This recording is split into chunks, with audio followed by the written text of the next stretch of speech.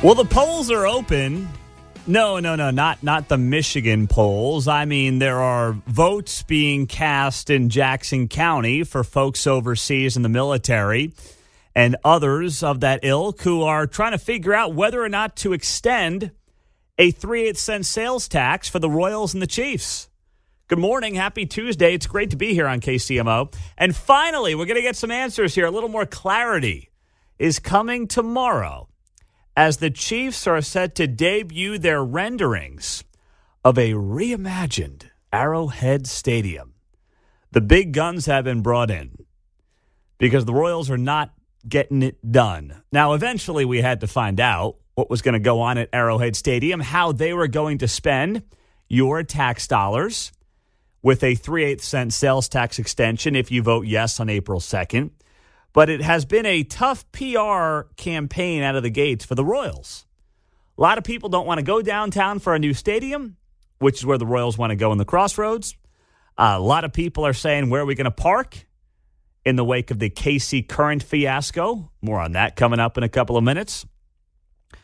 In the wake of the Super Bowl parade shooting, people have uh, concerns about safety in parts of Kansas City, Missouri all legitimate beefs and legitimate issues. And then the overriding theme is in a county that has been fleeced by its bureaucrats at every turn, do they want to shell out more money for billionaire owners? That's in large part what this conversation is going to come down to. So it's not been a good couple of weeks for the Royals, but the Chiefs, the Chiefs are back to back Super Bowl champs. The Chiefs have Patrick Mahomes. The Chiefs have Travis Kelce. Don't worry, I'm not talking about Taylor Swift. Don't get triggered right now. The Chiefs have everything trending in the right direction for if there was ever a time to ask the taxpayer of Jackson County for more money. You can't get a better time than right now. And I don't know what the Chiefs are going to roll out here tomorrow, but they're going to have their renderings for a reimagined Arrowhead Stadium coming out sometime tomorrow in a big uh, press conference they're going to do. All I know is this the timing could not be better, and they will likely drag the Royals across the finish line. I'll, I'll say this much. I hope that John Sherman has a nice gift basket set aside for Clark Hunt because if this thing does end up getting passed, it's in large part because Jackson County will not want to hurt the Chiefs. They'll want to give the Chiefs what they're asking for, which is the sales tax extension, and they're not going to want to screw with the Chiefs right now. And the Royals are going to benefit in a major way from that. The Royals, in part, may end up getting their downtown stadium simply because they have tied themselves to the hip on this ballot issue with the Kansas City Chiefs. And I just hope, and I'm sure that Clark Hunt will have his own suite in the new downtown stadium. But he deserves a couple of them, John, because he's going to be dragging Sherman across the finish line here. Well, that and that's maybe the case right now, right? Yeah. 2015 when the Royals won the World Series and the Chiefs were kind of sniffing around the playoffs, beginning to, you know, might have been she might have been on the other foot back then. Just saying. Yeah, could right? have been. Sure. But, uh, but the, the play right now is just like you say. Yeah. Absolutely. Got to get this thing done Mm-hmm. if you're uh, the Chiefs, and you got to drag the Royals across the finish line with you. So we'll be watching this thing. It's uh, still five weeks away from April 2nd, give or take. But voting is underway uh, for folks overseas in the military and whatnot. So literally one, two, three, five weeks from today is going to be voting day in Jackson County for the Chiefs and the Royals. Now, the Kansas City Current, the professional women's soccer team in town, they are still getting a ton of blowback over the parking fiasco they have created down there at their riverfront ballpark. So, if you have not been following the story the last few days, uh, the current season is set to begin here in the next few weeks. Got this brand new stadium right there on the riverfront, due east of River Market. And it's the first stadium that is built exclusively for women's soccer. And that's cool. I mean, that's great. I, I looked forward. I use that in past tense because I don't know if it's happening now. I looked forward to taking my girls to a game at some point. But then season ticket holders found out late last week that uh, parking was going to run you $68 per game after taxes and fees. That's because there's only a couple of spots. And, and I say a couple, but there's like 2,000 spots, which is not enough for that stadium, which seats about 11,000. So they're jacking up the prices here for those who want to park, basically begging you not to drive to the game. They are begging you to go park somewhere else downtown, River Market, um, somewhere where you can take a bus. They are begging you to do everything. They're basically trying to price you out from being able to drive to a game. So local news has actually done a pretty good job being all over this. And, you know, knocking this entire situation is not being anti current, it's not being anti women's soccer. It's being anti dumb business. And that's what this is dumb business. So KCTV5 caught up with a couple of season ticket holders yesterday, and they talked to one guy who's not happy about the T parking price and one lady who is accepting of the parking price. Take a listen to this tell people three weeks before you have to come up with a thousand dollars. Season ticket holder James Candiff isn't happy. He should have let everybody know initially what the parking situation was going to be like. He bought one seat for eight hundred and forty dollars. Only. By the way, who buys one seat as a season ticket? I'm, I'm just saying that's going to be impossible for him to sell. I mean, I'm just saying that's going to be a tough spot for the poor guy. To find out three weeks away from the first match that parking would cost him nearly the same. Had I known back when I purchased these season tickets in November of last year that it was going to cost me almost another thousand dollars and was able to make that informed decision, I probably would have made a different choice. It's a different story for season ticket holder Monica Massey. And when I became a season ticket holder, I expected to incur a cost outside of just the ticket. When you well, hold on there with all due respect to that season ticket holder, she says, Well, I expected to incur other costs when I became a season ticket holder. Yeah, of course. I mean, we, we get that. Not $68 a game the park, Monica. What are you talking about? I mean, yes, of course you expect to incur other costs. $68 costing more to park at a current game than a Chiefs game? I, that, that, that is not a reasonable added cost as a season ticket holder. Yeah, I'm expecting to eat that Joe's KC sandwich that they're going to have out there and the ice cream that they're going to have out there, not $68 for parking. exactly right. You expect to get fleeced a bit on the food, but not 68 bucks for parking. Look at what other fans around the country pay to park to watch U.S. women's soccer. There's quite a difference. You only have to pay $10 to park at Lynn Family Stadium. Current has the first women's soccer stadium which Massey believes justifies the price to park. We want to be proud of the stadium. We want to be proud to showcase what we have here.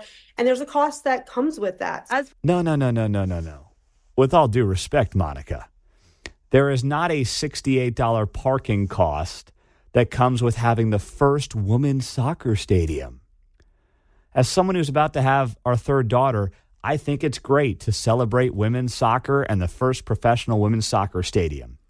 To act like, well, $68 parking, just that's just part of the deal. No. KCTV5 had in its report that similar sized soccer stadiums for women, even if they're not exclusively for women like Louisville, $10 parking. To act like this is just, well, part of doing business. No, it's not, John. It's dumb business. I'm with you. The this situation is like the deadpan comedian Steven Wright's line. He says, "I used to work at a fire hydrant a fire hydrant factory. You couldn't park anywhere near the place, right?" like, that was exactly my point. This is the first w- purpose-built women's professional stadium, and already it's got a, you know a black eye, not a black eye, but you know what I'm saying. Uh, the downsides like yeah, you can't park anywhere near it. You can't park anywhere. So what kind of a jewel is that? Uh, it's not one right Zirconium? now. I'll tell you right now. I, if someone had given me tickets for one of the first couple of games with the girls, I would have gone. Right now, I'm going to wait to see how screwed up the situation is down there. I, I am going to wait to find out and hear from you what the deal actually is trying to get in and out of a game rather than just going myself. So this is not about women's soccer. This is not about, well, cost of doing business. This is about horrible planning and an expectation that people are going to ride streetcars and walk a mile and, uh, you know, take buses to these games. And they're just not.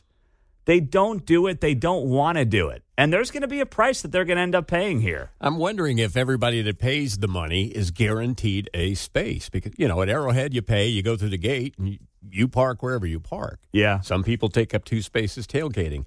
I imagine they're going to not have anything like that. At Good point. These games, right? So Yeah. There's no way you can take up two spaces, or you're you're in trouble. So if I'm paying my money, I want a space, Yeah. right? That's a good point as well. You're going to have to close down some guy's tailgate to try to get a spot. You're going to end up getting into a fist fight in the parking lot so a guy moves his hamburgers and his grill. Uh, what the, who wants to be doing that? 913-408-7957. I you know, listen, I, I want the current to be a success. I want the stadium to be a success, but the folks who planned it out did a horrible job, clearly. And the fact that they waited so long to tell people about the parking price means that deep down they know they screwed up. They're not getting caught off guard by this. That's why they waited until so close to the season to roll out this grand plan. Coming up on KCMO, um, Shawnee Mission North has an alum, one of the most famous folks in media. And the guy knocked it out of the park on a TV show yesterday. We'll play it for you next on KCMO Talk Radio 95.7 FM and stream us on the KCMO Talk Radio app. Shawnee Mission North's finest, Dr. Phil, knocked it out of the park yesterday. The guy went on The View. He's got this new book that he's pimping, and he's going all over TV to talk about it. By the way, is there any like statue of Dr. Phil at Shawnee Mission North or anything like that? Any acknowledgement? Do you guys know of Dr. Phil in or around Shawnee Mission North? Don't know, not that I'm sure. Okay. of. My guess is he has a plaque somewhere, but I haven't seen it. All right. Well, if he doesn't, I'm going to start that. We're going to have our buddy who built us the uh, Kamala Harris quote plaque outside the studio. Now let's stop and think here, because North was the Indians, and now they are no longer the Indians, I Oh. believe. So I'm not sure that Dr. Phil, in turn, would have a plaque. You're right. Right. As a cisgender white guy, he may not be high the Perhaps. I'm overthinking it, but I'm just following logic. Yeah, well, especially now after what Dr. Phil said yesterday on The View. He went on The View once again to promote his new book. And he just laid in to the ladies on The View with straight fire and straight facts. Take a listen to this back and forth with um, the View hosts and how Dr. Phil just, I mean, shreds them. And the same agencies that knew that are the agencies that shut down the schools for two years. Who does that? Who takes away the support system for these children? Who takes them away and shuts it down? And by the way, when they shut it down, they stopped the mandated reporters from being able to see children that were being abused and sexually molested, and in fact sent them home and abandoned them to their abusers with no way to watch. And referrals dropped 50 to 60 percent. So there was also a yeah. pandemic Yeah, going there on, and they were trying to save. They were children's trying to save so kids' well. lives. Remember, we know a lot of folks who died during this. So it wasn't people weren't laying Not around school eating children. bond. But well, you know what? We're lucky. Maybe we're lucky they didn't because we kept them out of the the. The places that they could get, be sick because no one wanted to believe we had an issue. Are you saying no school children died of COVID? I'm saying it was the safest group. They were the less vulnerable group, and they suffered and will suffer more from the mismanagement of COVID than they will from the exposure to COVID. And that's not an opinion, that's a fact. Let's go, Dr. Phil. Woo! Woo! Yeah, they took that plaque down yesterday. Yep. They, any uh, any plaque that Dr. Phil might have had up was taken down by some woke bureaucrat who's still wearing seven masks from four years ago. Poor guy. Oh man, that was beautiful. I mean, I gosh, I don't want to go back in time and talk about COVID right now, but I watched Dr. Phil last night on the View. That had me so fired up, John. I was like, "Let get me on the air, hold me back." Let's go. The views lined up left to right across your screen. Behar picks up the flag, runs up the mountain, and plants it with moral superiority. Are you telling me no children died? But That's ridiculous. Yeah, gosh, they are the worst. You're just running down to the far example. Exactly. No, no, he did not say that. He didn't say that. And he said, and as he laid out there beautifully, he said they were the least vulnerable group that will ultimately suffer the most. That is indisputable. And I love hearing Whoopi, no one wanted to believe we had an issue. Uh, no, I was doing this show. We were right here. I was sitting in this chair as COVID was unfolding. And it became evident fairly quickly that this was wildly dangerous and deadly for certain age groups and people who had certain backgrounds and certain health issues. But for those who were young and healthy, it was a cold. Okay, fine, it maybe was a bad cold. But to shut down an economy and shut down a school system because of that was not following the science. Dr. Fauci or Rex Archer or any of you other high and mighty slobs. Sorry. You'll recall in February of 2020, a couple of months before the big shutdowns, we talked about a student in Lawrence. Remember that? Mm-hmm. Uh, I think he had traveled international. Yeah. And, and then they were hospitalized. It was kind of the first inkling of anything. But from there, it took a few months before the ripple effect. Yeah, But that's uh, right. You know, we were addressing it back then. I remember that very well. I remember having a conversation on this show in maybe February of 20 about whether or not you were still going to go eat Chinese food because literally there were questions as to whether or not this was coming out of like Chinese restaurants or something. I mean, it, it- just thinking back to that time is insane on so many levels. And then, of course, the shutdown happens and the whole world goes absolutely nuts. But for Dr. Phil to put the View ladies, eh, you know, Dr. Phil's not a, a political guy. He's just a doctor who happens to follow the science.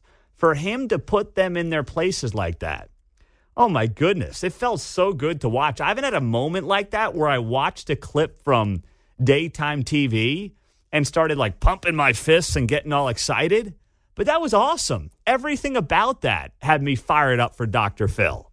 913 408 7957. Uh, That's our studio line and our text line on a Tuesday morning on KCMO. Don't forget, Tirade Tuesday. We do it every Tuesday at 835. If you are an early riser, know that you want to be back here in two hours because that's when we let this audience just have a field day and rip and blast whatever it is that you want to rip and blast. Locally, federally, worldwide, I don't care. You determine the content of this show Tuesday at 835. So don't miss it on 95.7 FM KCMO as we roll through uh, the 6 o'clock hour. It is so good to be here. Enjoy the 70 degree weather because you might get some snow flurries later tonight.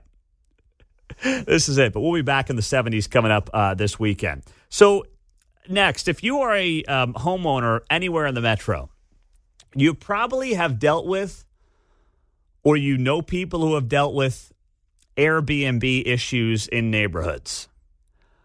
One local city passed an ordinance last night to try to do something about it. And I wonder if this is now a blueprint for other cities in the suburbs around Kansas City. We'll share with you what happened and what that will mean for Airbnbs coming up next on KCMO Talk Radio. Well, good on the city of Shawnee, but I don't think they went far enough. Last night, Shawnee's city council meeting took place.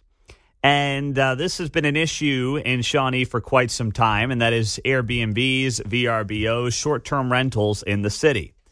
City council members say there are now around 60 in Shawnee.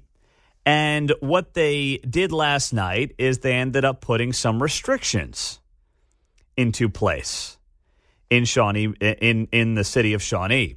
They passed an ordinance outlining new rules for short term rentals in the city, including requiring licenses, prohibiting the property from being used as a reception or party space, and requiring an agent or person managing the property to be within a 40 mile radius. Okay, that's good. That's great. I'll take it. If you're a Shawnee resident, you should be happy about this. But I don't think it goes far enough. I look at this and I- understand there's this thought process of, hey, it's my property. Don't tell me what to do with it. I, I get it. And I also understand that housing is getting more expensive. So there's a lot of people who have seen increases in their property taxes. Uh, they maybe have a little more home than they can afford, and they're trying to figure out how to lower their own costs. and they're either Airbnb, you know, portions of their home. Uh, they might be investors, Airbnb entire homes. But if you're in a residential neighborhood and you're using your home as an Airbnb, that should be illegal. Because these homes are zoned R1, right? They're zoned for residential. They're not viewed at as hotels. They're not intended to be hotels. And that's effectively what you're turning homes into. So I, I you know, there's always the arguments from the libertarian, and trust me, on a lot of issues, I, I agree. But you don't get to ruin neighborhoods by effectively taking your home and turning it into a hotel. You don't get to do it. If you were to do that in any other scenario, if you were like, hey, I'm going to knock down my house and, and build a, a two story hotel, you'd have to go to a city council. You'd have to get that property likely rezoned. And they probably would say, no, you can't put a hotel in the middle of a residential neighborhood. You can't do that. We're not going to let you do that. And by the way, they would be right to say you can't do that. It is on planning commissions and and um, you know cities around the metro have them and counties have them to say you know we're going to put a hotel here, we'll allow restaurants here, we'll put a park there, we'll put neighborhoods here. I mean that's kind of how a planning commission goes about its its business. That's how it should go about its business.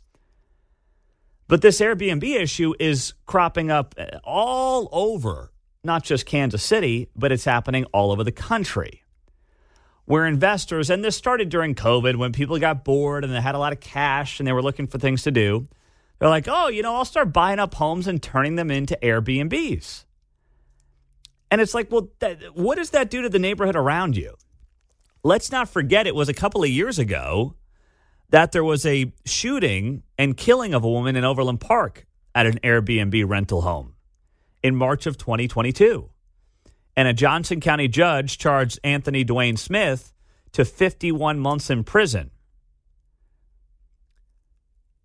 So these things do not work out for the neighborhoods that they're in. If you want to go be an investor in, um, you know, some type of real estate, there's a lot of ways to do that. You don't get to corrupt neighborhoods.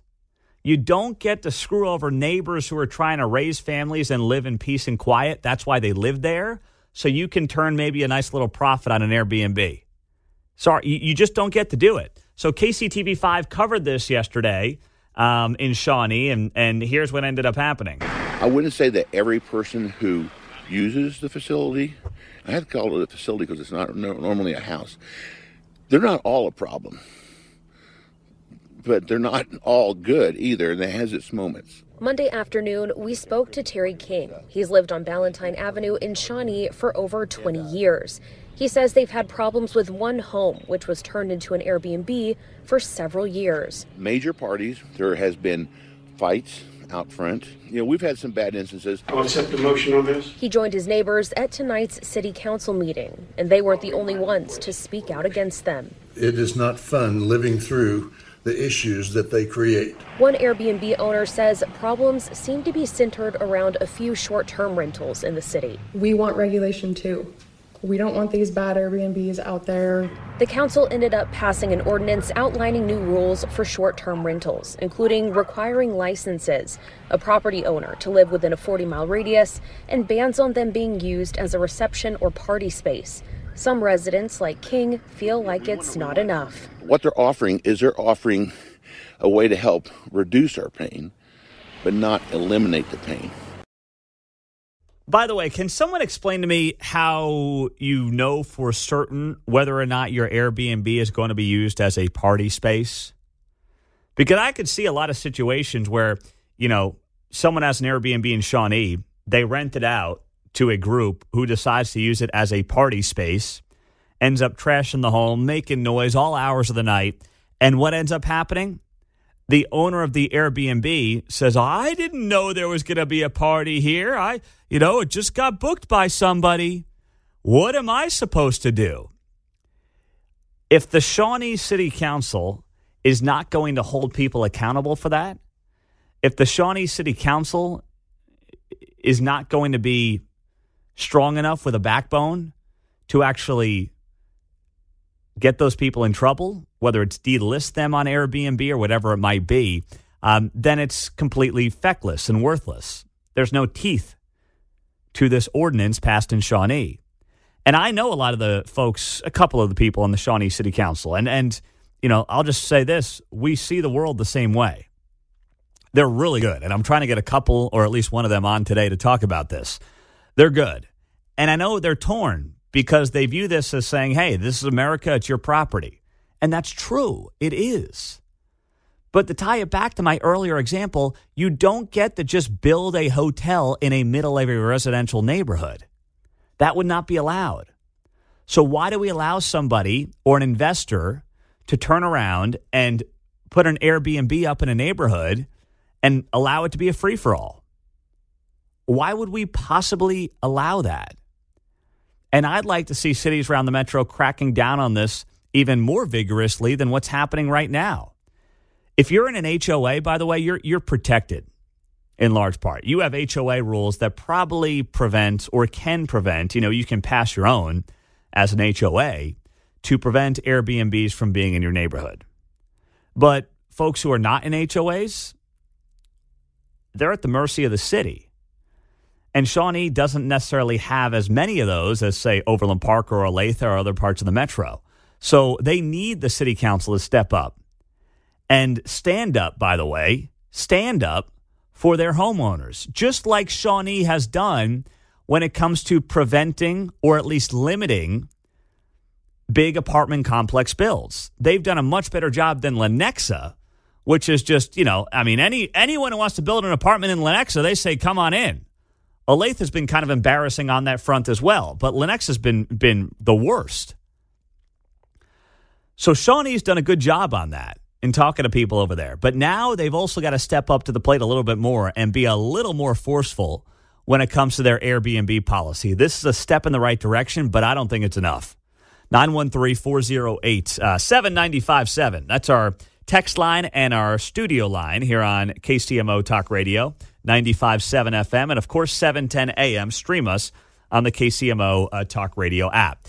Two major food outlets have gotten a lot of blowback. One fast food joint and one all American cereal have gotten enormous blowback the last 24 hours. We'll tell you why next on KCMO 95.7 FM. I don't know why everyone's ragging on the uh, Kellogg CEO. I think the guy's getting a raw deal here. I, everyone's trashing this guy. Why? Well, uh, the Kellogg CEO, Gary Pilnick, uh, Gary decided that he was going to suggest that people in these inflationary times, when food's costing you a lot of money, you go to the grocery store, you walk out of there, and you're like, that cost me what? Gary suggested that, you know, you turn the cereal. He said recently uh, in an ad, give chicken the night off. That's a new tagline from Kellogg's. Now, they own Frosted Flakes, Froot Loops, Corn Flakes, Raisin Bran, and others. And um, he said recently in a statement that the cereal category has always been quite affordable. And it tends to be a great destination when consumers are under pressure. If you think about the cost of cereal for a family versus what they might otherwise do, that's going to be much more affordable. Hmm. Now, I, I, people are freaking out. Oh, he doesn't understand the plight of the little man. Well, no, uh, the government screwed us and created inflation. And the Kellogg CEO is saying, hey, we've got an alternative for you. If you want to eat cereal, it's a much cheaper option than eating chicken or steak or whatever it might be. It just might be something for you to consider. It's not his fault. It's not Gary Pilnick's fault that the government created an inflationary environment that skyrocketed your grocery bill. So don't be mad at him. Don't shoot the messenger in this case. You see what I'm saying, John? You on board with me here or not? I'm trying to work my way up to your point. Okay. That's So, a nice way of saying it. Symbolically speaking, we think of the CEO as maybe responsible for setting prices. Mm-hmm. Yes. But cereal is not immune to the other uh, inflation uh, factors, to your point. Yes. Because I was going to say, has he gone down the cereal aisle recently because that stuff's going up, especially that brand. Well, is it really? Okay. Oh yeah, I'm not a uh, I cereal always guy. go the uh, no, we already do that. you Oh. know. E- e- every once in a while, my wife and I was like, "Yeah, this I don't want to cook anything. Cereal's easy, milk or milk in a bowl, you know." now, what's your cereal to go to there, Well, it John? shredded wheat, Okay. something like that, or frosted shredded wheat. Oh, okay. She All right. likes uh, oat flake things with strawberries. I'm not a fan of that. But that's her thing. Anyway, we you kind of shop around the name brands even there. Well, okay. Yeah, so I don't know if Mark shops for cereal for his kids. Well, so I go down there and we look, and I'm like, yeah. But to your point, that's not necessarily his fault. Correct. Right. Cereal prices alone have increased 28% in four years. Okay. That's There we go. enormous. Mm-hmm. Now, um, in the last fiscal year, Kellogg raised its prices by 12%.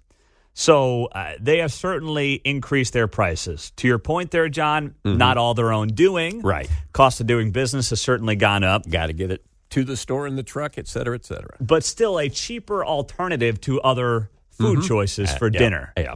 So I don't get offended when the Kellogg CEO says, "Hey, if it's tight right now, consider Raisin Bran." Because I'm like, you know what? Not his fault. We're living in these inflationary times. I only buy cereal when it's on sale. So. Oh, you're an on-sale cereal Oh, guy. yeah. Okay. I look for the sales and I'll get it if it's on sale. now, I wonder if shrinkflation is happening in cereal as well. Is the box mm-hmm. shrinking? I got to imagine that's that's something that's on now, the these, table. some of the store brands come in a bag so you can see. Oh, So do- clear oh, bags. Yeah. gosh. Yeah. yeah, So you know, I'm just not a cereal guy anymore. It's I never been my cereal kind of like vegetables. It's like, isn't it kind of all the same? Different. You know what I mean? Green beans from Green Giant or from Always Choice or green yeah. beans. Yeah. All right. So Kellogg's is getting flack. Now, the other company that's getting some blowback here, Wendy's. What did Wendy's do? Wendy's is expected to roll out dynamic pricing similar to Uber's surge pricing as soon as next year.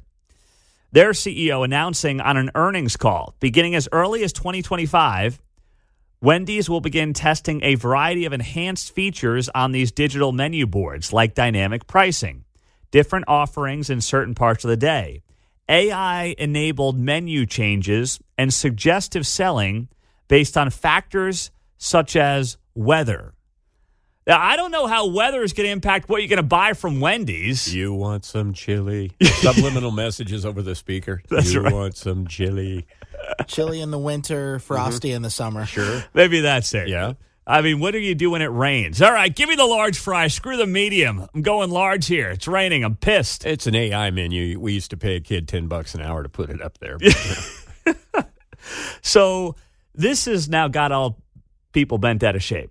Why? Because, well, you're going to pull up to a Wendy's potentially next year and not know, depending on the price of, you know, the time of day, how much your burger and fries are going to be. the menus have like a Dow Jones crawl at the bottom when you're looking for the triple. what could possibly go wrong? Mm-hmm. So, like, that's cool. If you go to a Wendy's at like three in the afternoon and you know you're getting a deal because of the time of day, that's great. But if you go to Wendy's at 6 p.m. and you know that that, you know, burger that's normally $6 is now 750 because of surge pricing, are you going to go to Wendy's? I, I think a lot of people are going to say, forget that. I'm not going to go during peak hours. They'll go find better deals. When I was a kid, we used to have to uh, put our schedule around the TV. You know, the Partridge Family was on at seven; you had to be there, right? Nowadays, it's like uh, we don't wash the dishes or laundry until after eight because of the Evergy thing. So I might as well factor the drive-through into my plans too. It's like not going to the drive-through between five p and seven p. So now you're going to be eating dinner at nine o'clock. Yeah, Everyone's going to be or four. sleeping. Yeah, yeah, or four. Said the sixty-year-old. Yeah, you'll be sleeping, you know, from uh, midnight Mm-hmm. to 10 a.m. That way you can get the cheaper prices on breakfast at 10:30 in the morning. Uh, it's just wow. Places are going to start to look like Black Friday, where they used to line up outside the door, yeah, just waiting for noon. That's right. Waiting for the prices to drop. So this is this is dangerous because here's the other thing for fast food. The other thing for fast food is that part of the model is you know that you go in there and you're going to get, you know, two burgers for $3 on certain days at certain times. Like that's part of the model. You know exactly what something is going to cost. And if Wendy's is going to go Uber pricing where suddenly it'll surge up or down depending on time of day and demand. Uh, Could you imagine trying to explain to the old lady why her chicken nuggets are $2 more than they were yesterday? right. I mean, I'm telling you, some poor schlep is not going to get paid enough to explain to grandma why her chicken nuggets are $2 more than they were yesterday when she came at the exact same time. Well, ma'am, we've got more people at the drive through, and our artificial intelligence tells us that we've got a higher demand, so your nuggies have gone up a couple of bucks. Who wants to have that conversation with grandma at Wendy's? Not me. And I imagine not many of you. So, Godspeed to Wendy's. But I'll tell you right now, I'm sure it's going to be hard to hire people at Wendy's with that coming down the pike. That sounds awful. Not that I'm a regular Wendy's consumer or customer anyway, but I'll be staying far away. We do like the pawn shop where he makes an offer, I make an offer, and we flip for it. Whoever wins is what you pay. 913 408 7957 as we approach uh, 7 o'clock on KCMO. Gen Z is living with parents at a higher rate than ever. I, I want to hear from parents who may be in that situation, the pros and cons next on KCMO. Tuesday morning, it is great to be here on KCMO. Enjoy this final day of 70 degree weather. Tomorrow morning, it's going to be 20 at this time. So get used to it. Uh, but we will be back in the 70s by this weekend. So can't wait. Uh, we've got baby number three coming this weekend. So we are excited about that and uh, expecting to be back, if all things go well, middle of next week. So you won't miss much of us, or at least much of me. John and Mark will be here holding down the fort on KCMO Talk Radio. So I, I think about this a lot. If you're a parent and you've got older kids right now, I imagine there are thousands of you dealing with this as we speak. Gen Z kids, maybe recently out of high school, not going to college, maybe it's not their thing, that's fine, trying to figure out what's next. Or kids out of college who are living at home. And I do want to hear from you at 913 408 7957 because there's a lot written about Gen Z that I think is unfair. And I say this as a millennial because every generation got some crap around this, right? Oh, the, the youngest generation that's in the workforce is always the laziest. They don't get it. They don't want to do anything. They don't want to work. Well, no. I mean, there's plenty of lazy boomers and Gen Xers. There's just plenty of lazy people. Millennials, like, laziness doesn't necessarily know an age. Hate to break it to you. Yeah, I kind of feel like in my life it's just permeated the whole country rather than a age group. Yeah, and I think it's getting worse, but it's getting worse across all age groups, I Yep, would say. agree. You know, old, young, middle age, everyone's just getting lazier. People don't want to work. It's like, hey, uh, where's my vacation day? It's like, just just go to work, please. Not that you're not entitled to some time off, but just go to work for crying out loud. Um, so right now we find ourselves in a place where housing costs are astronomical. In 2022, Moody's reported the average American renter was spending more than 30% of their income on rent for the first time, a benchmark that the government considers rent burdened. So, what's happening? Young people, in, in particular, Gen Zers, are living at home. Now, you might think, and I'm not here to judge anybody, but I got to imagine that as a parent, a part of you is like, all right, I'm going to help Johnny get up on his feet. We're going to help him save some money, not help him save money, but allow him to live at home and save some money. And then he's going to be off on his own. And then he's going to be able to, you know, afford rent and buy a house and the whole thing. But is that actually happening? In 2023, Bloomberg and a Harris poll survey found 70% of 18 to 29 year olds who live with their parents said they would not be in a strong financial position if they chose to live elsewhere. Now, right out of the gates, I'm sitting there and I'm saying, okay, if we are sending kids to college and they are coming out of college and they don't have a skill set that translates to a job that pays them enough money to then pay for their own rent, what are we doing? Why are we saying college is the answer, which it very much can be the answer? I'm not saying don't go to college. I mean, you know, I went, all of us went on the show. I'm simply saying if you're going to go to college and you're going to spend four years and tens of thousands of dollars at a place that does not prepare you to make money and have skill sets in the real world, then what are you doing? And yes, we can blame the colleges for that, but ultimately, as long as people are continued suckers and are going to continue to be suckers when it comes to this very issue and pay money to institutions that do not prepare you in any substantial way for the real world, then we have to take the blame as well. We have to force them to change through our behaviors. We have to force the colleges to say, gosh, maybe bringing these kids in here, making them woke with 17 different DEI courses, and then giving them no skill sets for the real world, maybe eventually that's going to backfire on us, so we should stop doing it. Just a thought, but that would be my initial. As I look at that number, I say, okay, so kids are going to college, and I understand. I mean, there's a housing crunch, and the cost of housing has gone up. But now these kids are in a position where they can't even afford to live somewhere on their own after four years of college. Then what's the point of it? On top of that, um, when it comes to home ownership, that is similarly out of reach. While some Gen Zers have managed to sneak into the housing market, this is on businessinsider.com, by the way, the average age of first time home buyers reached a record high 36 years old last year. More than one third of Gen Z respondents in a recent survey said it's something they thought they'd never be able to achieve. So, in the wake of the Great Recession, millennials were the first generation to stay home in mass, and now Gen Z is following in their footsteps. But unlike millennials, who were called lazy for living with their parents well into their 20s, it's become cool for Gen Z to live at home.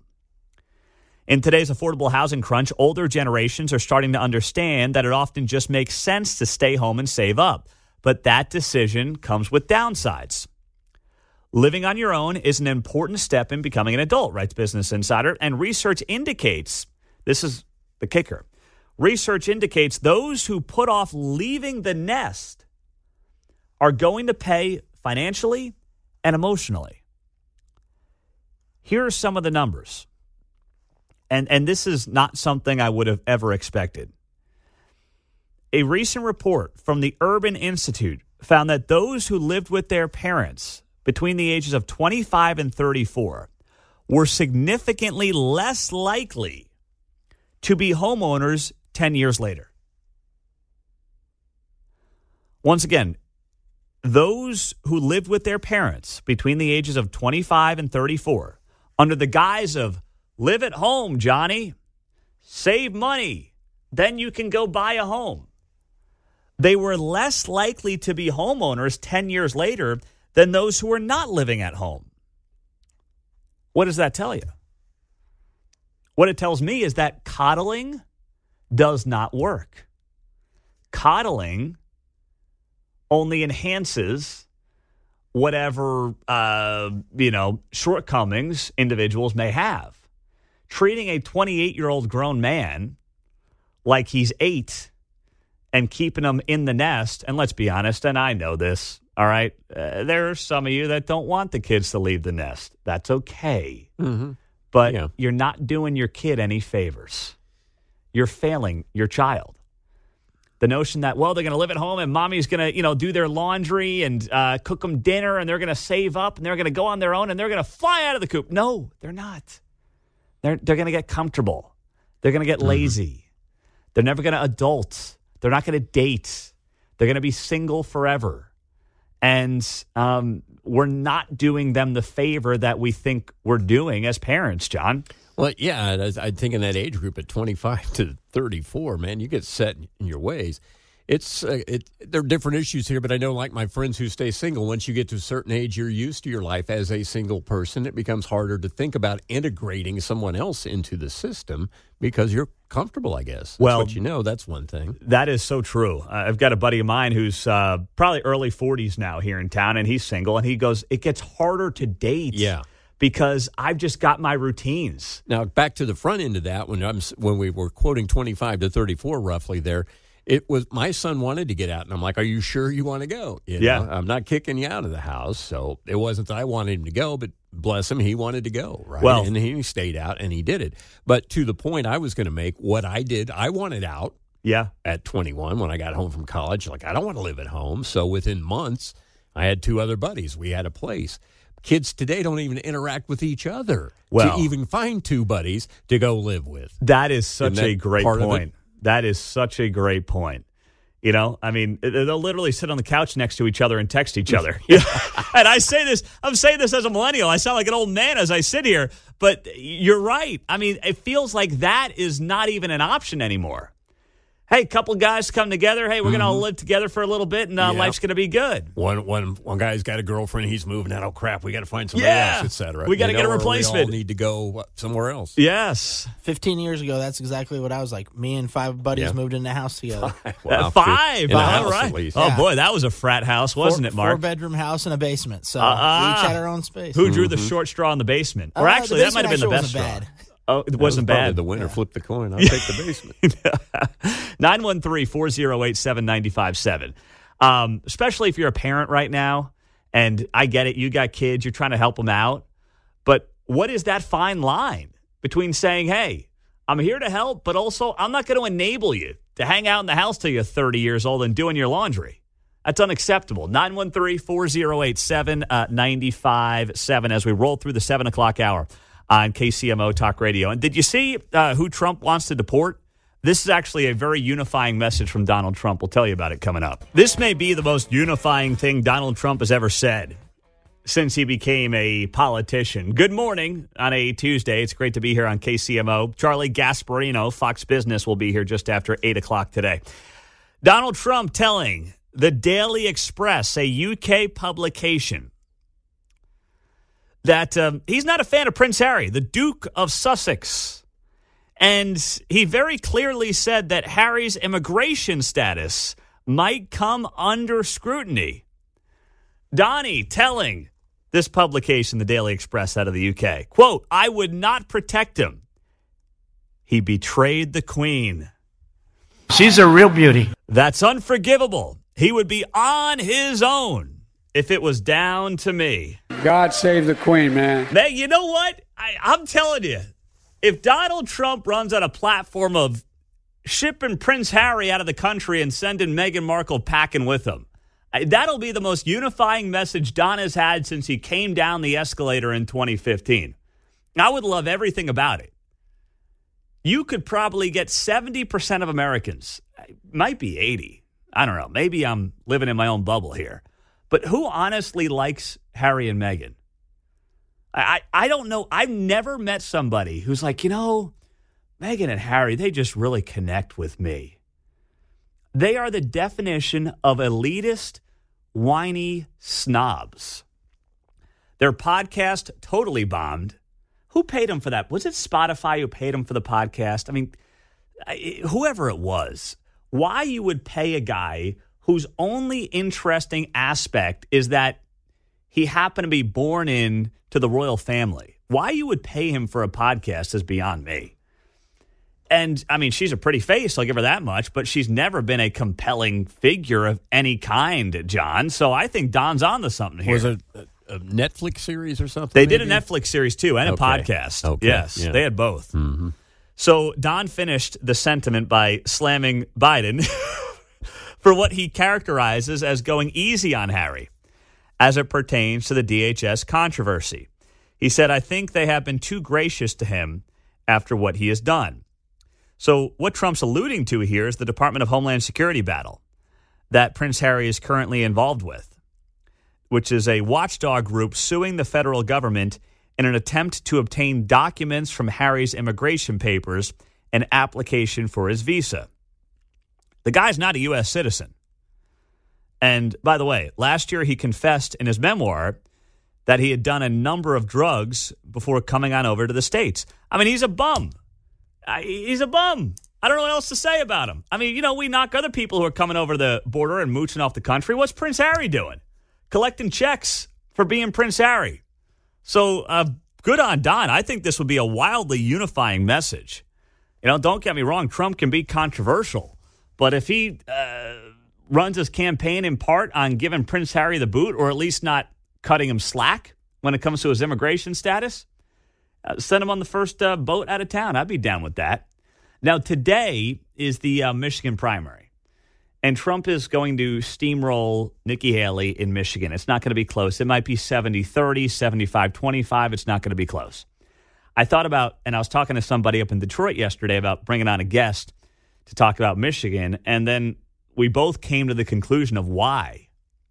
Like, there's there's nothing more to say beyond Donald Trump winning in Michigan today, going in the Super Tuesday, winning every state on Super Tuesday. The question is really by what margin? That's it. But what'll be interesting after South Carolina on Saturday, which Trump won 60 40, and that was Nikki Haley's home state. But how does he do in some of the more suburban districts, especially in a place like Michigan? That I'm not saying he needs to win Michigan, but it certainly would help him in a big way if he was able to take down Michigan as he did back in 2016, but then did not in 2020. If he performs well amongst Republicans in um, college educated counties in the Detroit suburbs, that's a good sign for him. That's a sign that, you know, as as we move from 2020 to 2024, people are looking back and saying, you know, yeah, the guy was a knucklehead at times, but gosh, economy was a lot better, country was a lot safer, border was in better shape, foreign policy was not the nightmare that it is right now. Uh, yeah, you know, I didn't like all the mean tweet stuff, but you know, there was a lot that worked for this country and worked for me. That's the only thing that we can learn out of today. It's not about who wins. We know who's going to win. It's about what is the strength in the suburbs outside of Detroit that you look at and you say that's where Trump is going to be able to potentially gain some ground, hopefully outperform, and put himself in a position that as we look ahead to the fall, which is really what matters here, he's got a chance to beat Joe Biden or at least keep it close with Joe Biden in some of these districts and counties.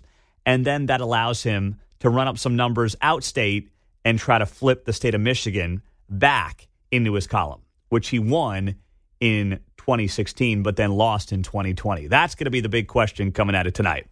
And then hopefully, you know, he runs a big ad campaign about deporting Prince Harry and, you know, he can really rally a lot of Americans and bring us all together, which we desperately need right now.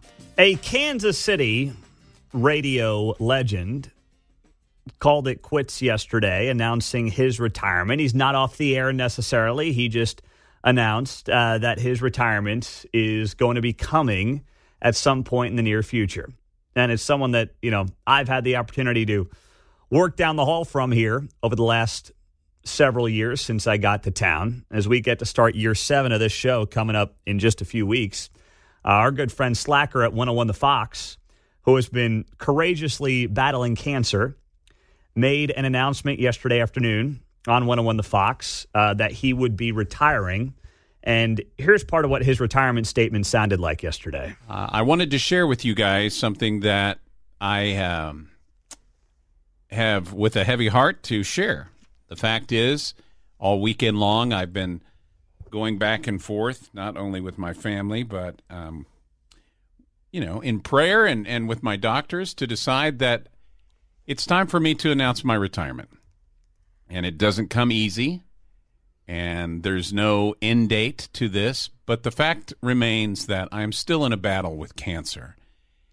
And in order to do my best, I'm going to have to dedicate my myself at some point to that mission. And man, I, honestly, those of you who are listening this afternoon who who've ever contemplated uh, retirement, you know what kind of struggle it is because I don't ever, I never thought of myself as retiring. I, I figured that I would be the guy that would uh, continue to be on the radio forever, and it would be my fervent wish to do that.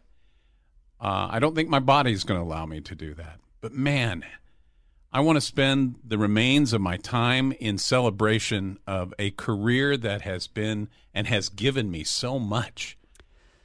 Slacker on 101 The Fox, uh, part of his retirement announcement yesterday afternoon. Um, someone who has been down the hall from us uh, since I got here. And, you know, John, I imagine you and Slacker go back a very long time, do you not? You know, I didn't work with him until we worked here at this company. But I've met him and been around him quite a bit. You know, Slacker Mhm. doesn't know any strangers. That's so true. you know, it- we we obviously bump into each other every morning before our shows in the hallways, and uh, he was always the guy, uh, and is always the guy who is the first one to kind of get you in the mood. You know, to do your morning show. And that's what I always appreciated. There would be days, you know, where I'm kind of in my tunnel vision zone, thinking about four hours of talk radio. I got to go from point A to point B. Who we talking to? When it's happening? Does Mark have all the sound bites we need? And my mind is racing in 15 different directions.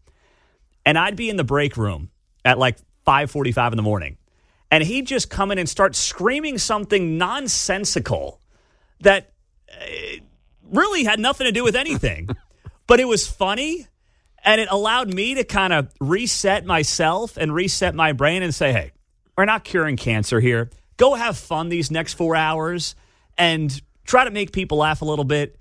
Talk about the news, talk about what's going on, but don't take yourself too seriously. And that's what he always brought to the table with great professionalism as well. And that's a tough balance, you know, especially Yep. when you're trying to be that funny, goofy guy like uh, many folks in music radio want to be. But to balance it with the professionalism and the authority that he has on air is very unique, John.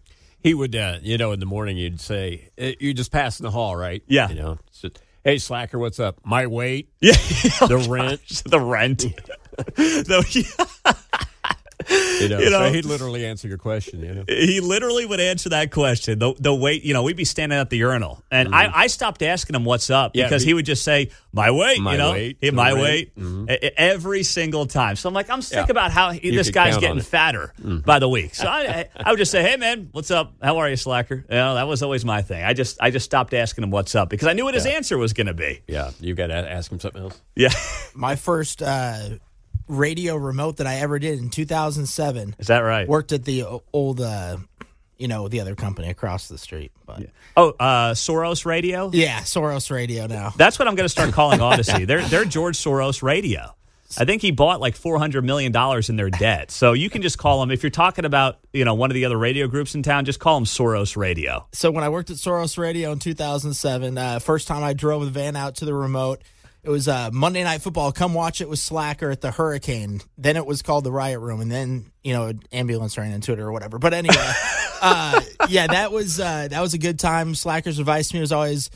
No, no matter who's here or what's going on, just take the free beer. Yeah, that's that is such great and that is such slacker advice, isn't it? Take the the good Irish minimum. Take the free beer, and um, those are great words. That's a great bit of advice. Although Mark, you don't even drink beer, so you never took his advice. I know. I- I told him I can't take it here. I can't take your advice here because I have to drive the van back. Yeah, but Mark, I, I don't think I've ever seen you drink a single beer. Would you start taking some advice from Slacker? I'll take a free beer every now and then. I will. yeah, and thanks yeah. to Slacker. You'd rather have free money in your uh, DraftKings account, though. I know that much. That's true. Oh, I remember Slacker's morning demeanor, right? Rather, you know, if he hadn't had his coffee yet, he was kind of on a low keel. But I could make his day because I would remember to pick up a packet of Cholula at QuikTrip because he'd be he'd be the first guy in the building in the morning. Maybe I'm the second Yes, guy. yes, you And guys there- were there one would be two. a desperate day. He'd be like.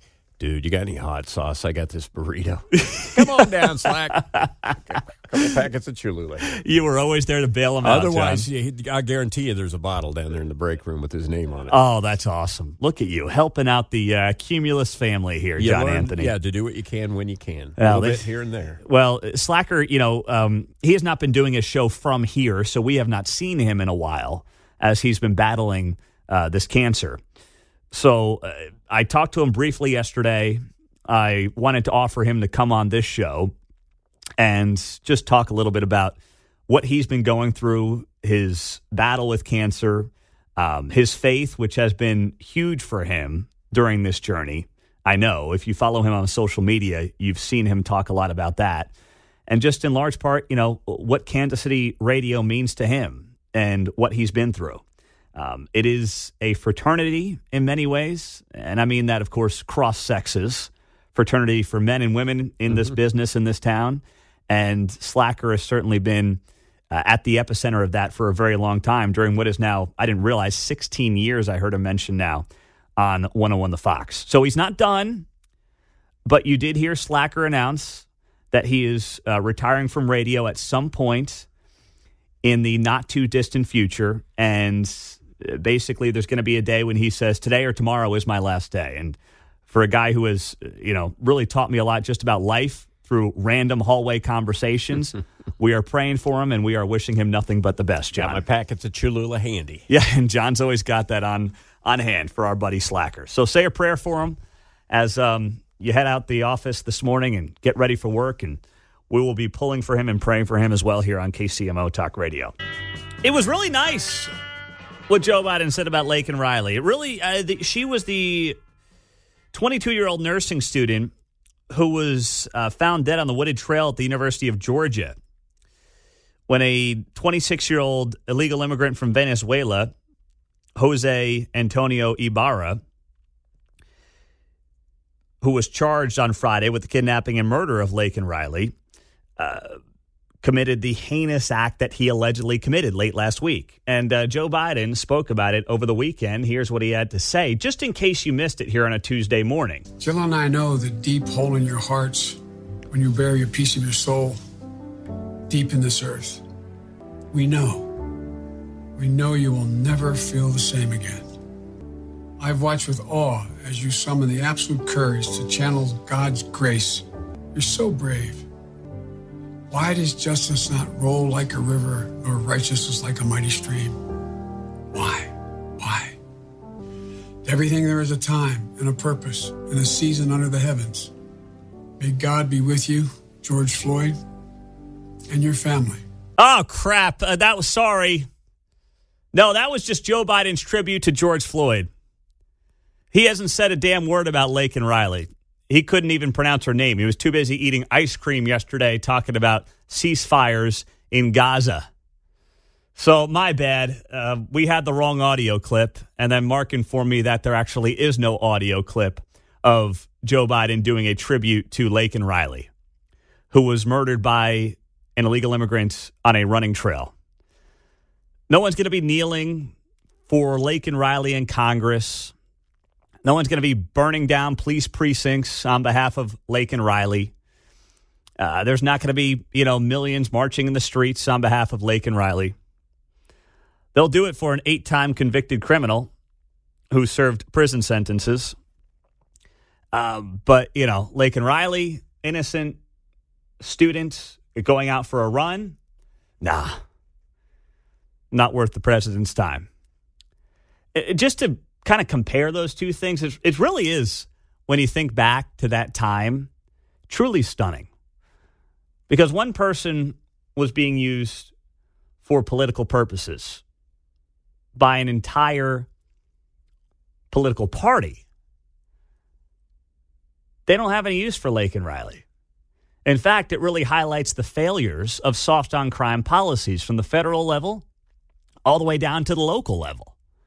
You have a guy who crossed the El Paso region of Texas in September of 22, was sent to New York, was, by the way, arrested in New York for endangering a child. Then he takes himself down to Georgia, where he commits petty crimes and ends up uh, getting arrested. The prosecutor down there slaps him on the wrist. He then ends up driving for Uber and DoorDash, getting around E Verify using his brother's information somehow. And then he ends up committing this heinous crime.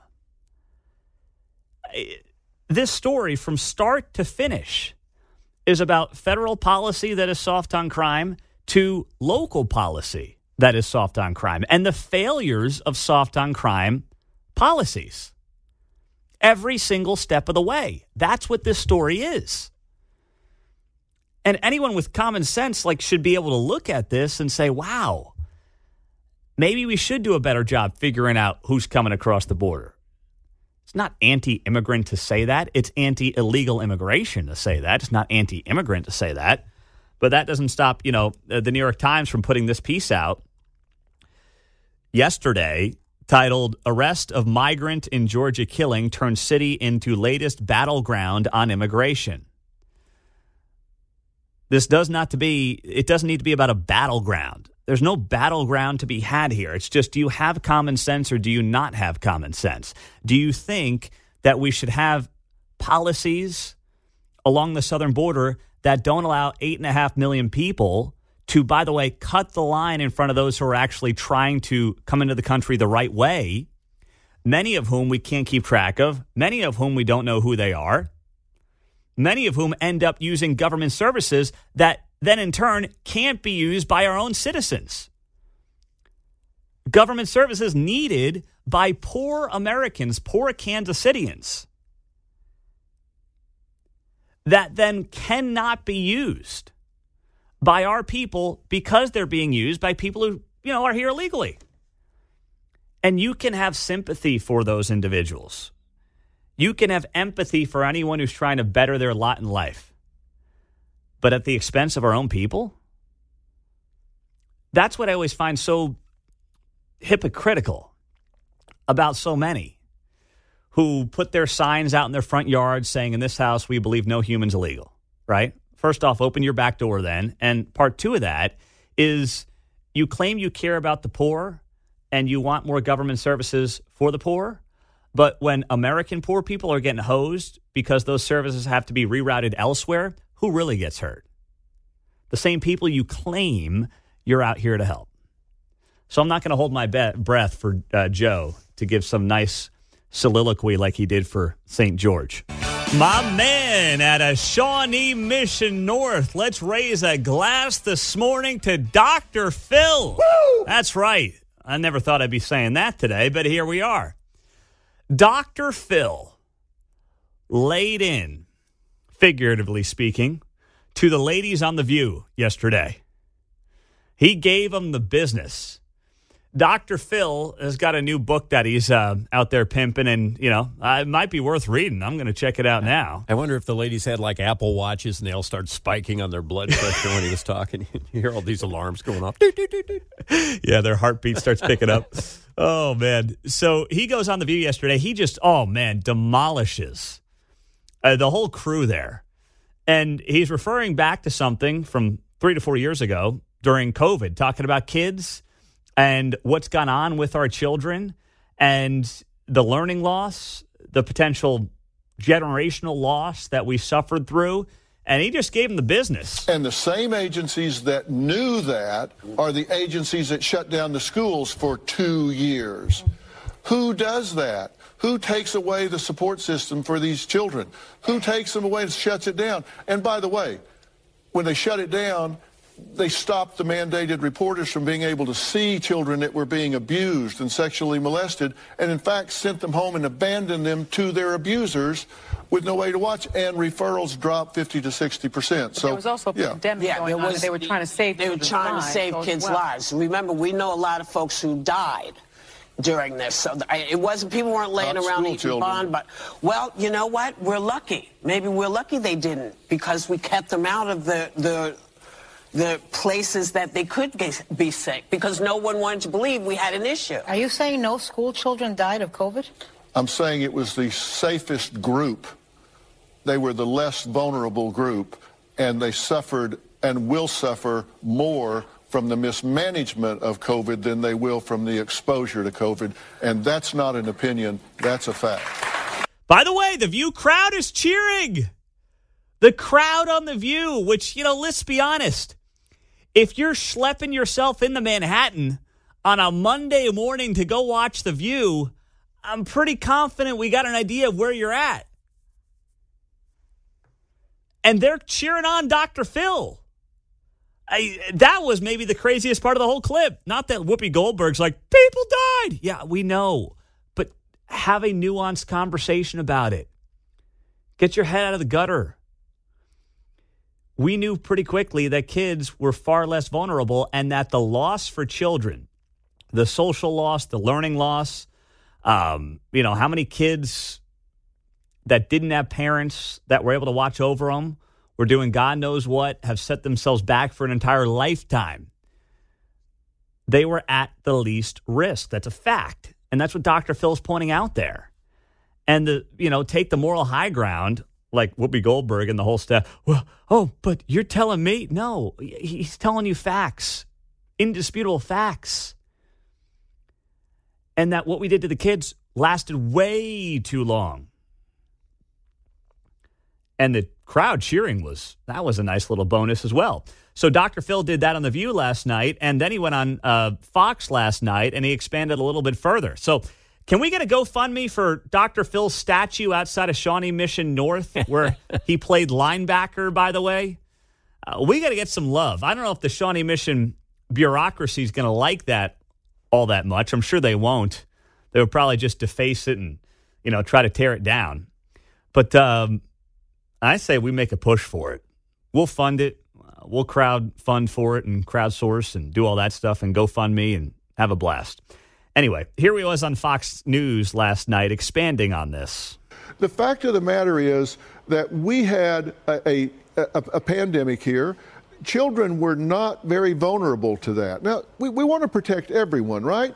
Uh, but children were not very vulnerable to that. But what they were vulnerable to was disrupting their lives. We know that the we had the highest levels of anxiety, depression, and loneliness, as well as suicidal ideation and suicidal attempts, than that in 08 and 09 that we've seen since they started keeping records.